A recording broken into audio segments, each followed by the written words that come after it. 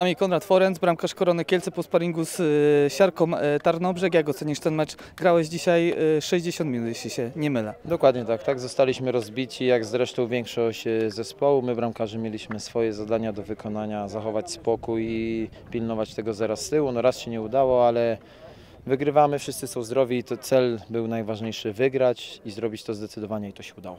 Jednak wyszedłeś jako drugi zawodnik. Czy w związku z tym jest taka rywalizacja, że na dzisiaj jesteś bramkarzem numer dwa w zespole? Jak to wygląda y, Wasza sytuacja? Jakie masz nadzieje związane z tym sezonem, który się praktycznie dopiero rozpoczął?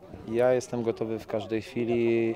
W pierwszym meczu była taka decyzja, nie inna. Ja ją szanuję, bo jestem w 100% gotowy do następnych spotkań i kiedy trener zdecyduje, że to już jest ten moment, że mam wrócić, to ja jestem na to gotowy. Jak dzisiaj ocenisz ten mecz z perspektywy bramki swoich y, kolegów z drużyny? Jak to wyglądało z, twojej, jakby, z Twojego punktu widzenia?